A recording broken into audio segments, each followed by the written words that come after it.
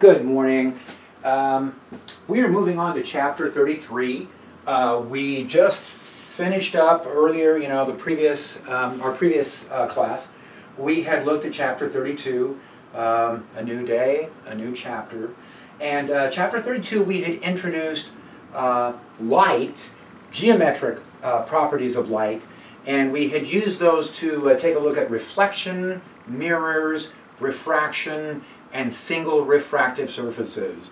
Now we're ready to move on and look at lenses. And lenses are just, let's face it, lenses are amazing devices. Uh, if you're like me and you've been wearing corrective lenses since second grade, um, then you realize how amazing it is to be able to see things in focus and such a simple device, right? Just some pieces of glass or, that are, are uh, ground to a certain shape uh, and you can, you know, correct vision. So anyway, let's get started with this. Of course, there's a bunch of topics. We do have a, a fair amount of stuff to get through in this chapter, so let's get a start. So uh, we're going to be looking at what are called thin lenses. Now, when you look at a thin, it looks so thin, if you look at a thin lens, lenses are, um, well, the, we have two refractive surfaces. So there's a refraction that takes place at one surface, there's a refraction at the other, but the two surfaces are close enough, we can treat the two refractions as if they overlap. So it's kind of like, what's the combined refraction of this surface and this surface as if they're both happening in the same plane. So the formulas we work from have a little bit of an approximation to them, but they work pretty well. So we're going to be able to make some uh, good, reliable uh, calculations and, and again, some more drawings. Now, what happens with lenses is that we can kind of divide them into two categories, same way we did mirrors. So we're going to keep saying this is just like what we saw with mirrors. That statement is going to happen over and over. So with lenses, we could create lenses that are converging. Lenses that take light in and redirect the light. Now, a converging lens doesn't necessarily bring the light together to a, a, an image. It could be that the lens isn't quite converging enough. So for a converging lens to be converging, uh, let's see what we have to shape it like. Uh, if it's a material that's a higher index than the surrounding material. So the assumption typically is that the lens is going to be made out of something like glass. It's going to be placed in something like air and that means that the glass has the higher index of refraction. When we analyze the uh, refractions then, what we find is if the lens is thicker in the middle and narrower around the edges, the overall effect will be converging. Now the glass could look like this, could be one of the surfaces is flat, it could be one surface is convex and one surface is concave. The curvature on that front surface is uh, it's a tighter curvature than the one on the back. That means that the curvature on the front dominates. So the one that has the shorter radius of curvature means that the refraction on the front dominates. That's going to be a converging refraction. So yeah, all three of these are going to be um, converging pieces of glass. Similarly, over here, we could have double concave, uh, concave planar, uh, or concave where the center is uh, thinner, uh, and that those all those will be diverging. So you know, I, again, I've worn corrective lenses since like second grade or something. And at first, back when I was a kid, uh, I had those diverging lenses because I was nearsighted. And uh, so my glasses looked like this. They were thinner in the middle and they were thicker around the edges. And then more recently, over the past um, 10 years or so, uh, that vision actually got corrected, but um, now I'm, I'm, you know, it's the short distance items. So now I'm farsighted, and uh, if I'm looking at things up close, I have to. So the glasses I carry around with me now uh, are thicker in the middle and thinner around the edges. So if you wear corrective lenses, that's kind of an advantage in this chapter because you get to take off your corrective lenses and look at them and go, oh yeah, that's right, that's what my corrective lenses look like. So anyway, converging, diverging lenses, we're going to have both types. Same as before. And uh, as you imagine, the definitions are kind of the same. If I bring parallel light in through a converging lens, then the light is going to converge to what we call a focal point. We're going to define this as the focal length. Now notice what's different with a lens compared with a mirror is that if this was a converging mirror, the light would have come in but reflected so this part of the diagram would have been folded over to the other side. That's the only difference. You can go back and do all the stuff we did with mirrors. Just take the stuff on the, um, yeah, maybe that's, that's difficult, huh? Unfold the mirror diagrams and they become lens diagrams. And this is why I always tell students, if you're having trouble with mirrors, uh, maybe start looking at some problems in the lens chapter and then go back and revisit mirrors afterwards. Lenses are a, a cleaner way to, to learn about optics and the reason why is if it's a lens the object light is on one side coming in and the image light is on the other side going out. So the, uh, the light coming in and the light that's going out are separated so they, they don't, it's not as confusing. The diagrams are going to be simpler than they were. And that, and again, if, if chapter 31 with the mirrors was a little murky, uh, see how this uh, lens stuff goes. So uh, go ahead and get a start on these and then go back and revisit chapter 31. So this is an example of a converging lens. Now if the light's coming in from a different direction, what that says is it's going to focus in the same plane. So this is now defining, uh, defining a focal plane that we're going to end up with. But that's, you know, some diagrams for uh, showing a converging lens. Similarly, here's a diverging lens. So light's coming in parallel. It's diverging. I refract here, I refract here, and at the end of those two refractions, the light is spreading out. There is not going to be a real focal point. There is going to be a virtual focal point, and that virtual focal point is going to be back here. All right, same as what we saw with mirrors, except, except this is easier, right? Because, again, here is the object light coming in, and then the image light continues right through to the other side, so that the image light and the object light are on opposite sides of the lens, and um, I, I, think it's easier. I think it, it really makes lenses easier to think about. Uh, ooh, this is a familiar formula. So this is a formula we used for lenses, and it works for, for mirrors, and it's going to work for lenses. So it's going to work the very same way. Uh, we're going to extend this and say that 1 over the focal length is defined as the lens power. Now, it's, it's not the same thing as watts.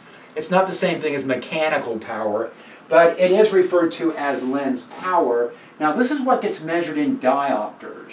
And if, again, if you wear corrective lenses, then you know about diopters. You know, going to the optometrist and you get a prescription, and the prescription is listed in diopters. So optometrists don't give you the prescription in focal lengths, which they could. Instead, they work in terms of the inverse. And, and I think one of the reasons for that is uh, the, the shorter the focal length is, the more powerful the lens. And so by using the inverse, uh, lower values of diopters are lower prescriptions. Higher values of diopters represent shorter focal lengths, and those are stronger lenses. They're more powerful. All right, we're doing lens ray tracing again, so uh, here we go. Uh, here is an object, okay, and again, these are, these are so much easier to think about, I think, than mirrors. So here is an object. For me, it's a triangle. I'm imagining a triangle there. Here's an object. Here's path number one that comes in parallel. And then it crosses through the focal point.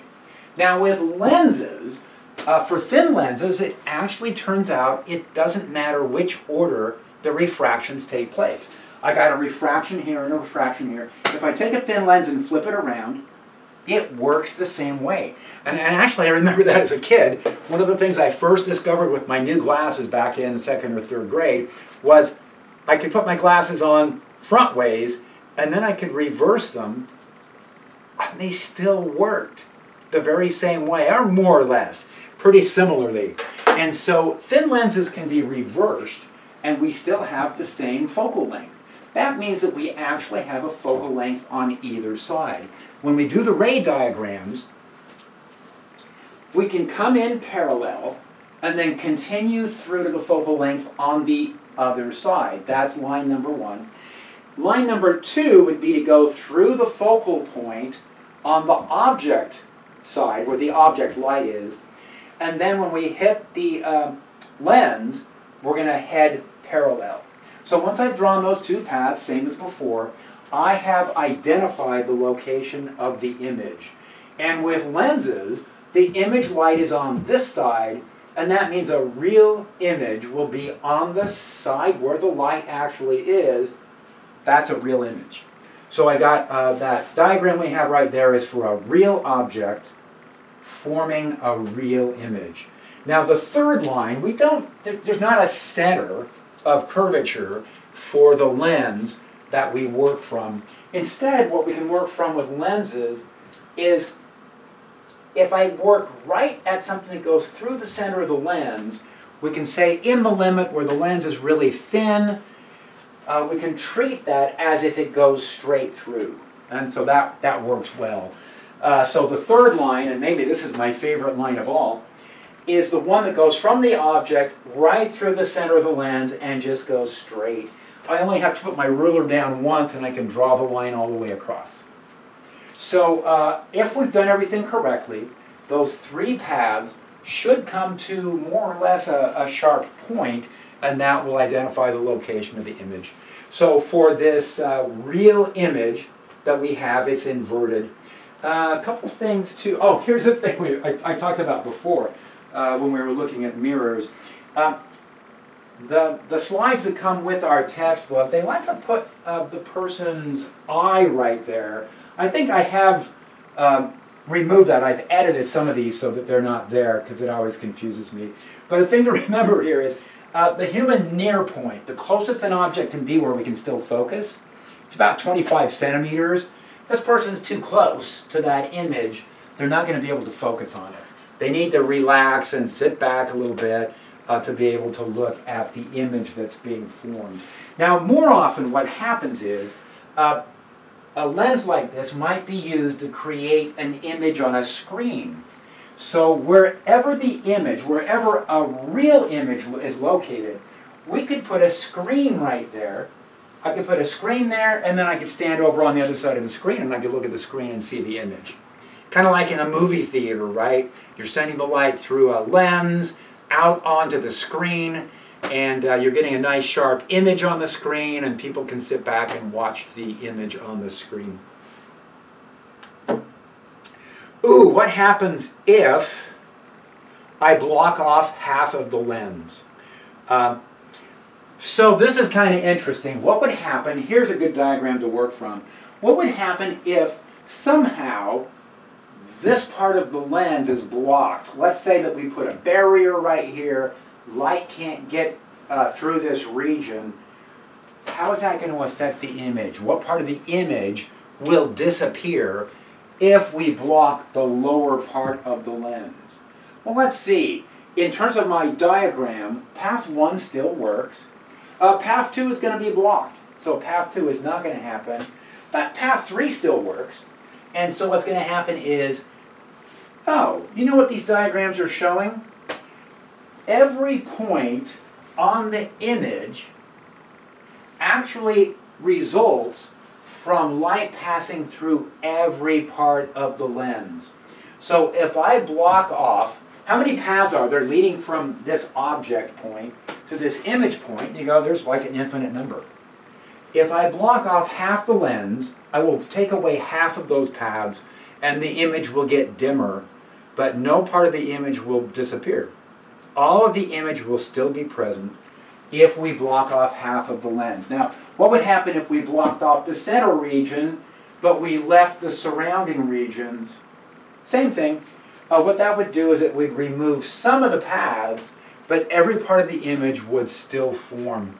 As long as we've got some part of the lens where light's still passing through, we'll get a full image uh, formed from that. All right, here is a diverging lens. So with the diverging lens, let's try that. Here is my real object, out here. I'll take path number one. Let's see, path number one went parallel. Now this is a diverging lens. So I'm not going to turn and converge towards this focal point. I am going to diverge and path number one in the image light is going to be aligned with the focal point on the other side. Okay, remember we got a focal point on each side. When we're doing the ray diagrams, we use each of those focal points once. So um, that's going to send the light off in that direction. Then, if we take what I think of as, as the easiest path, well, let's go ahead and do path two. Uh, we'll do them in, in numerical order. So the other path, we've used this focal point. So the next path to use would be to use the focal point on the other side. Now this was parallel in, focal point out. So this has to be focal point in. So what I'm going to do is I'm going to look at a path that lines up with the focal point.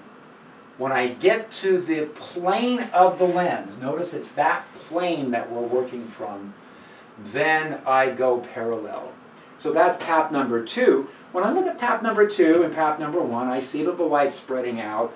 It's not a big deal. It's not a surprise because it's a divergent lens, right? If it's a divergent lens, then we're expecting that path one and path two are going to spread out here on the other side. So to find out where the image is, we're going to trace these back, and where they trace back to and cross is right here. So that's the location of the image.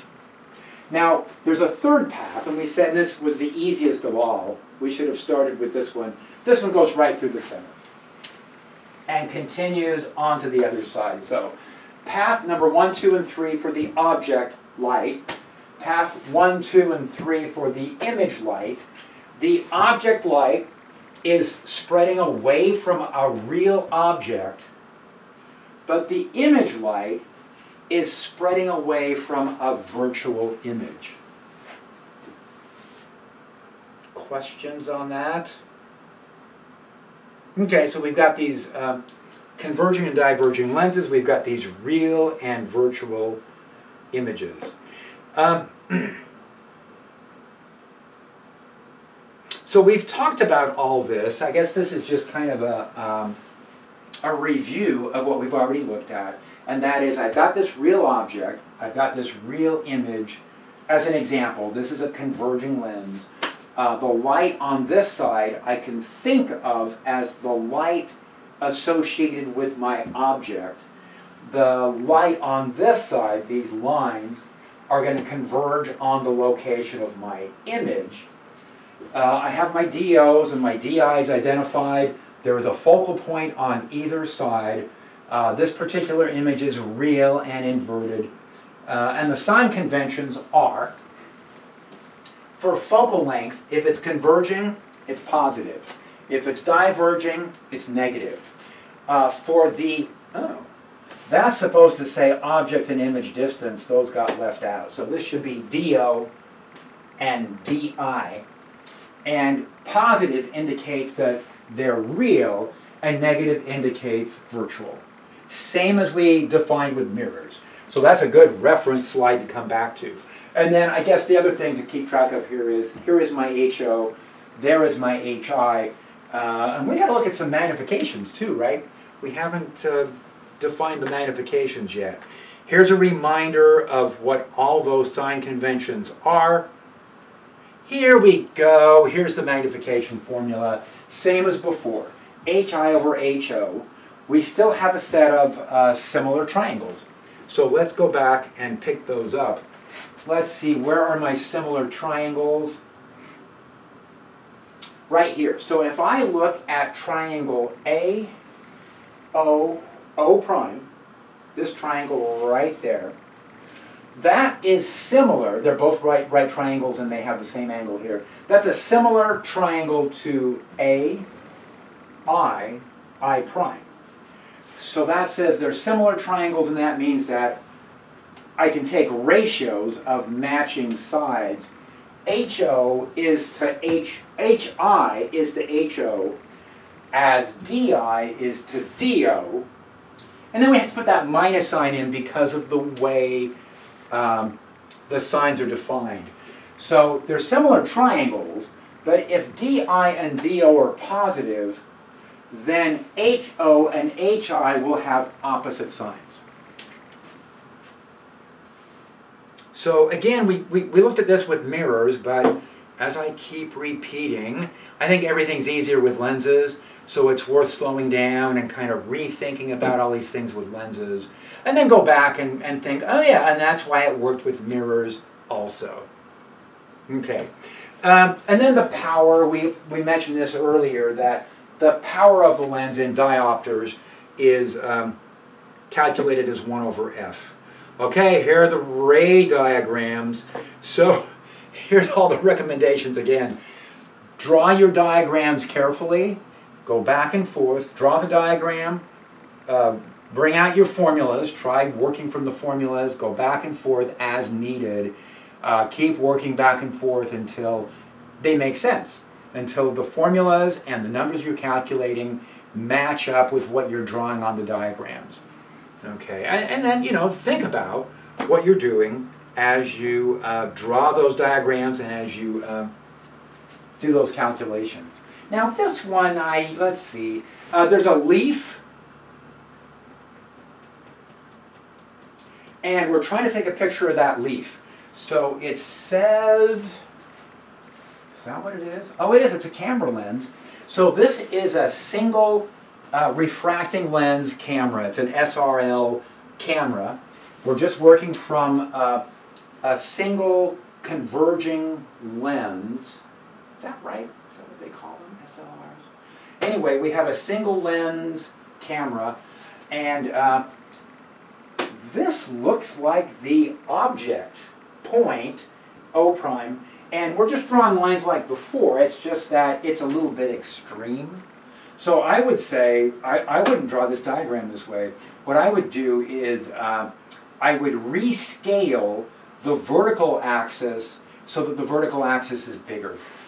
Uh, because if I, if I keep these vertical distances really small like this, there's a larger chance that my diagrams will, will be more confusing than they are useful. So uh, again, what I would do is maybe not make the horizontal axis quite so big, uh, maybe scale things down and then maybe scale things up so that it's easier to keep track of all the paths. But it's basically the same thing we've looked at before. Now, as far as the numbers, this is, oh look, I'm bringing back this diagram that we introduced back in chapter 31. If you remember, uh, for a converging mirror or lens, I'm going to say a converging lens now, uh, there, this diagram, there's a couple of hyperbolas. This axis is keeping track of DO, this uh, axis is keeping track of the image distance, and uh, this is the real to real quadrant. This is real to virtual. And the numbers we have on this example, it's a camera, the DO is 100 centimeters. So the, the uh, object that I, it's only 100 centimeters, huh? Is that right? Yeah, one meter. That's only a one meter distance. Okay. So it's a hundred centimeters for DO. The focal length is 5.00 centimeters. So the DO is quite a bit larger than the focal length. And that means where I am on this graph, uh, this would be DO equals the focal length right at this asymptote. So I got to come away 2, 3, 4, 5, 6, 7, 8, 9, 10. So it's way out here at DO is equal to 20 focal lengths. And so we're way out here somewhere with the camera. And uh, the DO is uh, 100 centimeters. And that says the DI is going to be really close to a focal length. It's going to be just barely outside the focal length, right? Outside the focal point. So let's see what that works like. The focal length is given at 5 centimeters when I put my numbers in. Yeah, so the image is coming in, uh, the image distance is just beyond that focal point. It's at 5.26 centimeters. Now that's how cameras are designed.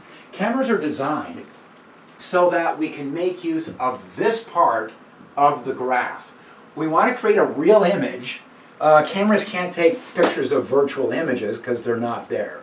And so we need to work from a real object, forming a real image, and by using this part of the solutions, I can look at a wide range of DOs. A camera is designed so it can take a picture of something close in, and it can take a picture of something way, way, way, way out there. And if I work in this part of the graph, then just with moving my lens back and forth a little bit, I can focus on a wide range of DOs.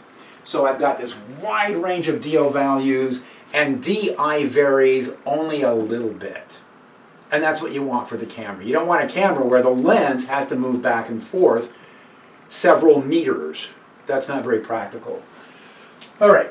Um, but that's the number we're getting. And then in terms of the, ma the magnification, what we're getting is um, minus, it's inverted, uh, 0.0526. Now, of course, if cameras are using just a single converging lens, what's going to happen is the image that forms on the um, screen in the camera, so inside the camera, the screen consists of a bunch of sensors. But the image that forms inside the camera is inverted. So you guys have probably noticed that, right? When you take photos and you look at them, they're inverted. No. So how would you know if they're inverted? So the image that actually forms inside the camera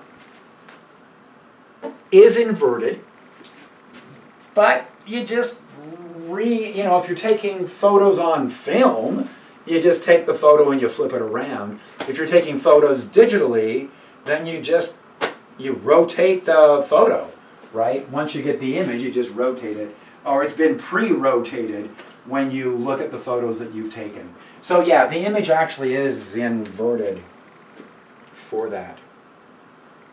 What about human vision? And again, see, I'm, I'm crossing out this.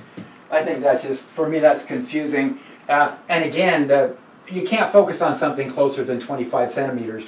So the image that this person is trying to focus on would need to be um, 25 centimeters away. So maybe it works depending on the numbers here. Uh, this says we are looking at an object. Uh, we're using a converging lens and we're using it very close. The object is here inside the focal point and so here is the, I'm going to ignore that person for a minute and just ask where is the image going to be located. So my diagram says that if I go in uh, parallel, then I'm going to converge through this focal point. But when I take this focal point, I actually can't send the light through it because I'm already closer than the focal point. So we saw this example with, the, uh, with mirrors. And so what I'm going to do is I'm going to line up that focal point and extend a line to the center plane of my lens and then take it out parallel from there. When I, and then I can take a third line right through the center. When I bring these three lines back to see where they originate from, that's the location of the virtual image. So this is, it's actually a magnifier. So if I have a magnifying glass, or just a, a magnifier is what we call them, oh, I can take that magnifying glass, bring it very close to my eye, and then I can look at something and it looks bigger. So let's take a look and see what the numbers, how the numbers work out. On this one it said the focal length is 15, but the, the object we're looking at, I got my magnifier out, I got my uh, object, and I'm bringing it in really close inside the focal length. So the object is actually only 10 centimeters away, and it says that uh, the image then is going to show up at minus 30. That's good news. I can't focus on something closer to me than 25, but this image is 30 centimeters away. So even though the object is only 10 centimeters away, its image is 30 centimeters away, and the light that's actually reaching my eye, oh yeah, maybe I do need that picture. The light that actually reaches my eye is patterned based on the location of the image, not the object. So if I look at paths 1, 2, 3 here, that's my image light. And so yeah, I, I can focus on that uh, image. So I can hold up the magnifier, And that lets me bring an object much closer than I would be able to otherwise, and I can actually see a lot more detail that way. And that's what allows us to use um, a single converging lens as a magnifier. Okay, on this one, what else did we need to show? There's a location of the image. Here is the magnification. It's right side up, right? So in this case, the image that I see on a magnifier is right side up. On my graph, what we've done is we've taken the object, the DO value, is going to be within the focal length. So I'm actually in the range of real object forming virtual image. That's a virtual image. The light's not really coming from that location. All right. I hope this is all falling into place. Um, I think lenses and mirrors are, are difficult. So uh, you certainly, I'm, I'm totally uh, sympathetic um, if you're saying this is going to take a while, it's going to take a few passes through to have this make sense. Here's another example. I have a diverging lens. Oh, it's a diverging lens. And it says we're going to take a small insect. Um, it says 25 centimeter diverging lens, but we know if it's diverging, that needs to be negative 25. And what we want to do is form a virtual image. Ooh, let's see what, see if we can make these numbers work. Uh, again, I'm not entirely seeing what they're seeing. Okay, I, I listed all the information. That's always a good idea, right? So I've just listed all the information. Uh, the focal length is minus 25 because it's diverging. And uh, the image location, now this is interesting because instead of starting with the object, we're going to start with the image. Is that going to work? And the answer is well, of course, because anything we do from object to image can be reversed. We could treat the image as the object and work back through the problem. Images and objects can always be uh, reversed with respect to each other. So um, let's see. that said, how, how the heck are we going to do this? So um, I'm trying to think of how I I would like to say I drew the diagram first, but I'm guessing that what I did instead was I did the math first, put all these numbers in, made sure I had the correct signs here. They said this is going to be a virtual image. What I found from that was I needed a DO of 100 centimeters, and the magnification I'm predicting is no inversion, but uh, the magnification is going to be one-fifth. So given all the numbers from the math, what would the diagram look like? And if I choose to bring in these little graphs that I've been using to uh, identify which quadrant we're looking at. Uh, so here's my graph. What I did is I took the focal points. Now those were minus 25, but remember for the lenses, I've got a focal point on both sides. So I draw focal length out here, focal length out here. I'm ready to use both. But I have to remember it's diverging. So that means that uh, if I come out two, three, four, I guess that scales. 25 centimeters, 50, 75, 100. Here is my object. And notice how I made it big enough so that I can actually, when I start drawing these lines at different angles, it's more meaningful. It's easier to do the diagrams this way. So don't get yourself caught drawing these little uh, images that are like, or object heights that are little tiny things. If I draw it this tall, there's no way I'm going to see the detail of what's going on. Okay, so use a different scaling as needed. So I'm using a really big scale here for my HO. And uh, I'm coming in parallel, path number one, and it's a diverging lens. So, so path number one on the way out is going to be directed away from the focal point. Focal point's right here. Path number two is going to, oh, okay, for whatever reason, path number two, this is not the the numbering they've been using. But for path number two, I went right through the center. And I, I have to tell you, I, I'm, that's usually the first path I draw is the one through the center. Uh, that's a pretty reliable path. So I've got a path through the center, and by the time I've done path one and two, I can see they cross each other right here. Now I could draw a third path. A third path would, let's see, I've used the focal point on this side. I've used the center. Oh, I have the focal point on the other side. So let's get the ruler out, draw a line that lines up with that focal point. Oh, I didn't draw the dashed lines. Dash line here, dash line here, dash line here. Okay, sorry about that. Got to get those dash lines in. And since it's a diverging lens, something that's coming in as if it's converging, a diverging lens is going to send that out parallel.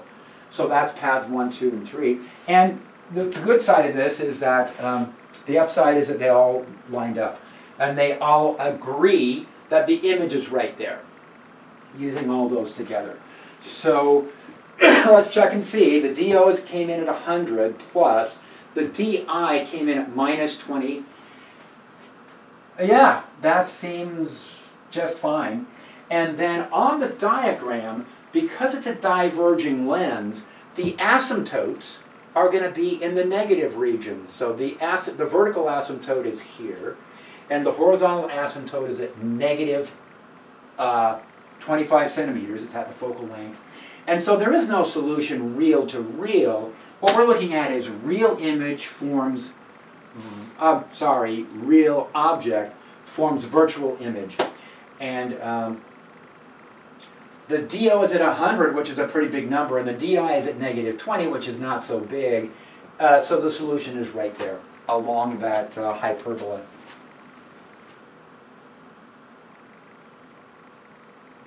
Okay, uh, what about multiple lenses? What if I have more than one lens? Uh, so here is lens A, here is lens B. They each have their own focal point. Uh, there's a diagram down there saying here is object light 1. Here's the object light coming into lens number 1. And here is the image light coming out. Wait a minute, the pattern of image light coming out is the object light for lens 2. And then finally we'll have some image light for lens 2. And we can, they've given us all the numbers here. They've given us both focal lengths. They gave us a starting, so, so let's do this two lenses. I'm going to do one lens at a time. So lens number one, focal length of 20 centimeters. DO is equal to 60. This was all given. I'm solving for DI. That's plus 30. That's real, and it's inverted. Uh, the magnification here is minus 0.50. That was everything for lens 1. Now what we can do is we can pick up the, um, let's see, the location uh, from the first lens and use that to come up with an object distance for the second lens. Now I can't just take that number 30. Let's go back and see what the whole diagram is going to look like. So what we've shown is that there's an image formed here. Now the distance between the lenses is 80 centimeters.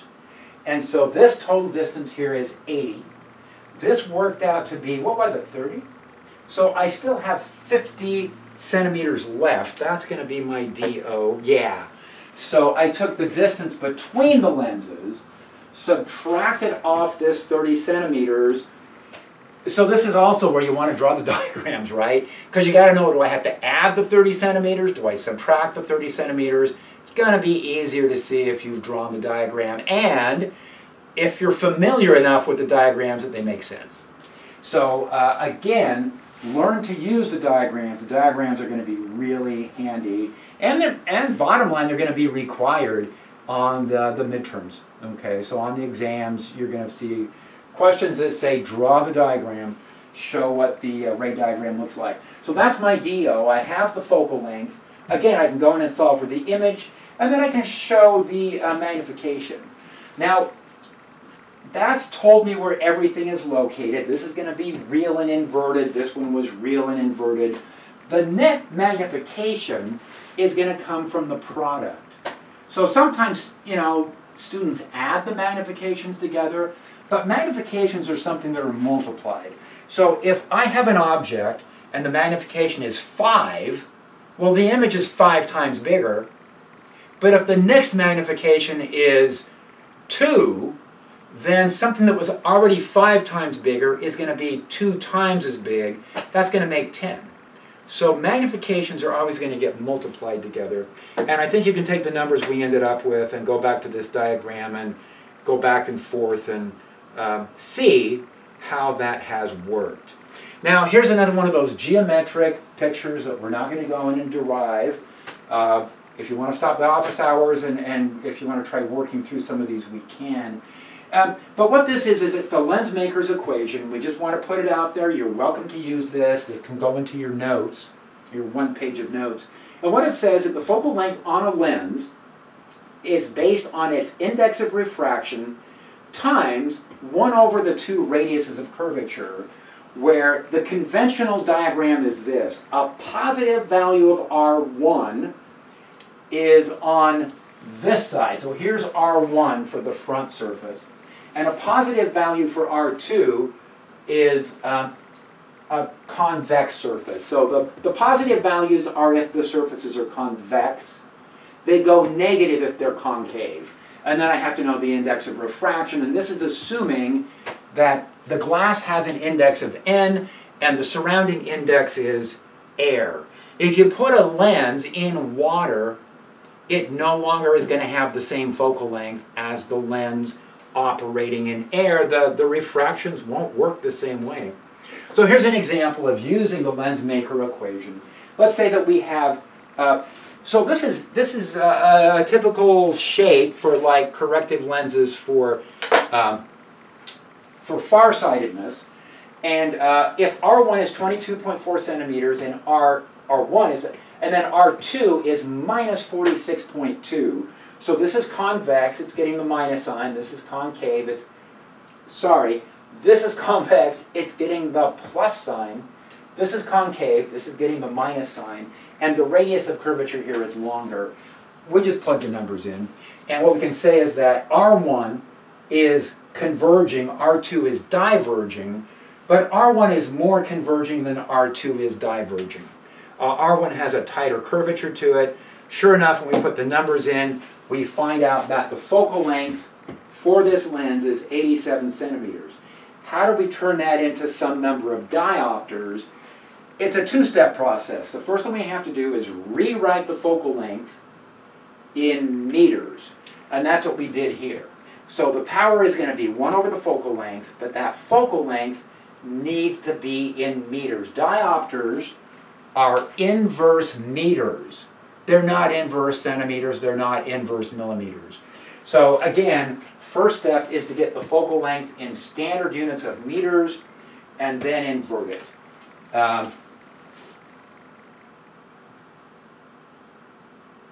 okay, and then they say, I'm, I'm, what did they ask about the 200? Uh, where will the image be for an object? Yeah. So if we have an, um, oh, that's interesting. Uh, for an object that's two meters away, uh, the image is, I gotta go back and double check that number. The image is at 154. Oh, the, the focal length is positive, and we're out. Okay, so this is a tight, this, yeah, this, this is a pretty short focal length. Anyway, yeah, that, that everything looks fine. Okay, camera. We had started talking about cameras a little bit, so let's follow up with that. We can uh, view the camera as having a single uh, refractive or, or, a converging lens. So a single converging lens. Uh, here is the aperture that determines how much light. If we need more light, we have to open the aperture more but that opens up also the possibility if there are imperfections in the lens that the image won't be as sharp. It's harder to make an image sharp if we're using a broad sample of light. And then at the back of the camera we have the sensors that are going to pick up the information. So here's an example, you know, this is showing, here is a sensor, here are electrodes coming away from all these different pixels. Uh, and then it's showing that a color pixel has to be ready to uh, sample red, green, and blue light coming in in order to produce a color photo. All right, um, I think we're good on this. Uh, I think we've looked at some of this example before. Okay, here's actually something numerical. Um, so let's take a look and see. So what it's saying is this. It's saying that we have a camera that is, is able to focus all the way out to light coming in off of an object at infinity. So I can be taking photos far, far away, those, those scenes of the horizon out there, or I can get it out at night and take pictures of the sky. Something really, really far away is in focus. Now what it says, using our standard set of formulas. So using our standard set of formulas, uh, if DO is equal to zero, then the focal length is just equal to DI. So that says that DI, for, for DO equals infinity, needs to be five centimeters. Uh, uh, and that's based on the focal length. So the lens and the sensors need to have a five centimeter spacing between them. Now what happens if I want to take a close-up of something? What happens if I want to bring something in? Well, this is still three meters away. That's not so close. So three meters away, you know, it's just across the room. Uh, that's 300 centimeters. Now when I go through and solve for DI, the DI is going to be 5.085. Uh, that's not such a big difference. So uh, what that's saying is I have to change the distance between the sensors and the lens. Uh, the lens is going to need to move out a little bit in order to take uh, close-ups. If we moved in even closer, so I'm, I'm guessing my camera should actually take pictures as close as, um, I don't know, 20 or 30 centimeters out. For those, this is going to have to move quite a bit farther.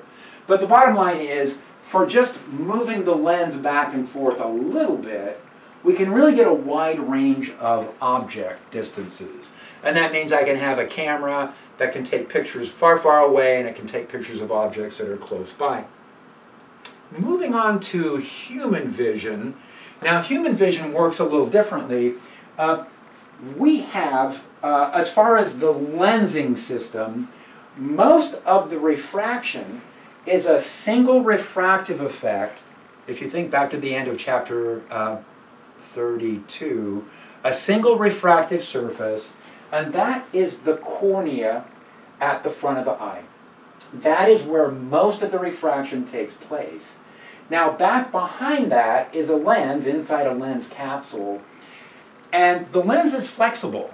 So instead of having a lens that moves forward and back, like a camera, with a fixed lens, uh, the lens is flexible.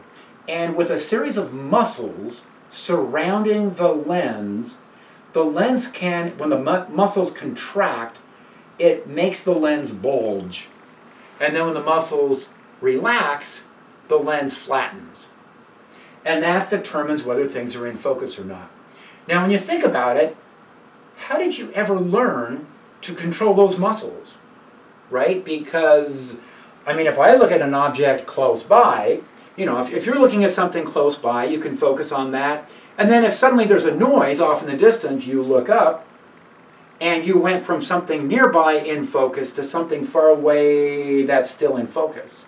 And that means that your, you know, your muscles around your lens in your eyes were contracting and then they immediately relaxed. That comes from practice, right? So I always think of, you know, you see little infants that are looking around at everything, and I always wonder, hmm, have they figured out how to control the focusing mechanism yet? Because, uh, you know, you're certainly not aware of it. It just happens very naturally, and you don't really have much control over it. But somehow that gets learned. Uh, you have an automatic focus uh, built into your visual system.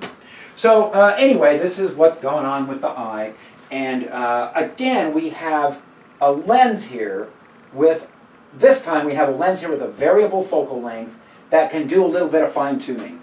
Most of the conversion is done with the cornea, and the lens then is only needed to do a little bit of fine tuning uh, farther in. Now, as you know, a lot of people wear corrective lenses, and that happens when uh, the combination of the cornea and the lens and the distances within the eye mean that the lens, the person, even though they can contract or relax their lens, uh, they're still not able to bring things into focus. Let's see.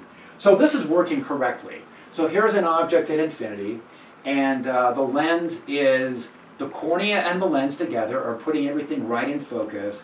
But here, an object has been brought in closer, and again, this is the correct uh, operation of the eye. The lens bulges, meaning it's becoming more uh, converging, and that enables it to um, that enables it to still maintain uh, a good focus on a nearby object. Now the problems come up. Let's um, go back and look at this. How close can we bring that object in and still focus on it? Because there's going to be a limit to how much bulging we can get from our flexible lenses. And uh, it says normal distance, uh, uh, normal near points are considered to be 25 centimeters. In other words, what's considered normal is you should be able to focus on something as close as 25 centimeters away, but they're saying, you know, typical person, once it gets closer than 25, they're not going to be able to focus on it. It's going to go gradually towards a fuzzier and fuzzier image. Okay, uh, the far point, so that's a near point, and then a far point is should be at infinity. The idea is you should be able to focus on anything. Now, when people hear infinity, they go, What? I can't see all the way to infinity, can I? Uh, what this is saying is no matter how far away an object is, it should still remain in focus. So you should be able to look at things that are, you know, miles and miles, kilometers and kilometers away, and assuming there's not um, a lot of disturbance in the atmosphere whatever, atmosphere is relatively clear of uh, of compounds besides the oxygen, nitrogen, and argon that should be there, uh, then images should still be clear. In fact, if it's a clear evening and the atmosphere isn't too fuzzy, uh, you know, you should be able to look at distant galaxies. You should be able to look at the Andromeda Galaxy, which is like two million light years away, and it should be in focus, more or less. That's kind of difficult because of atmospheric effects. Anyway, that's the idea about a far point and a near point. So what this is showing is, hey, if a person is nearsighted, then they're kind of stuck with too much convergence. And if you're looking at something way off in the distance, it, the, the focus is not happening at the retina. Uh, near objects, they're okay, but distant objects, they're not. And that's the most common sort of um, uh, correction that's needed for kids a lot of kids are nearsighted and they get diverging lenses, see the diverging lens, uh, to help out with that. And then um, farsightedness is kind of the flip side of that. It's that there's not enough convergence, and so when you're looking at something close by, uh, it's not in focus. But at distance, you're okay. Let's see, they never showed that, did they? Nearsighted. Okay, so what we can do is, for a nearsighted person, we can prescribe diverging lenses that will allow them to take the light that's coming in from infinity, the diverging light spreads it out a bit, and then the converging system of the person's eye, the cornea, and the lens over converge. So the lens has prepared the light, so when the person's eye over converges, it compensates and the lens compensates for that and, and things are in focus at the back. Uh, same thing with uh, farsightedness. The person's not converging enough. We prescribe them a lens that provides a little more convergence and then they can focus on objects that are close by. Okay, here's an example. Ooh, let's see how we're doing with time. I think it's time for a break. How do you guys feel about that? Uh, definitely. Let's go ahead and uh, take a break. Uh, you guys have questions, let me know.